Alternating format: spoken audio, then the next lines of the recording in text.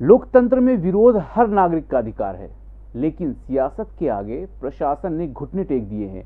मामला इंदौर का है, जहाँ धरना खत्म करने के लिए पूर्व उच्च शिक्षा मंत्री जीतू पटवारी को प्रशासनिक अधिकारियों ने घुटने के बल खड़े होकर हाथ जोड़कर मनाने की कोशिश की, लेकिन जीतू पटवारी टस से मस नहीं हुए और अधिकारियों को वापस जाना पड़ा। एक तरफ़ इंदौर पूरी तरह कोरोना की चपेट में है तो दूसरी ओर आरोप प्रत्यारोप को लेकर सियासत चरम पर है। इस राजनीतिक सियासत के बीच कोई मजबूर है तो वो है प्रशासन। प्रशासन की ज़िम्मेदारी है कि वो कोरोना संक्रमण के बढ़ते प्रकोप को रोके। वहीं नेताओं को भी संभालने की ज़िम्मेदारी प्रशासन को ही दी गई है। फिर चाहे प्रशासन घुटने टेके या हाथ जोड़े।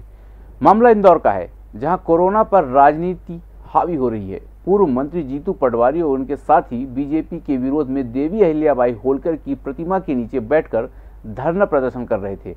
प्रशासन के अधिकारी उनको मनाने के लिए घुटनों के बल बैठे और हाथ जोड़ते नज़र आए। बहुत देर मिन्नत के बाद जब जीतू पटवारी नहीं माने तो अधिकारियों को वापस जाना पड़ा। इस दौरान जीतू पटवारी अपने तर्क देते नज़र आए। अब सवाल यह है कि प्रशासन कोरोना को लेकर सावधानी बरते या नेताओं को मनाने में अपना समय खराब करे। संगीत की स्वर लहरियों से सांस्कृतिक ताने बाने तक चंबल के पीड़ों से नक्सलवादियों के गढ़ तक। झोपड़ी से महलों तक ठेलों से मेलों तक पगडंडियों से सड़कों तक गाँव से शहरों तक व्यापार से उद्योगों तक। राजनीति से कूटनीति तक। दखन न्यूज़। आपके हक। में।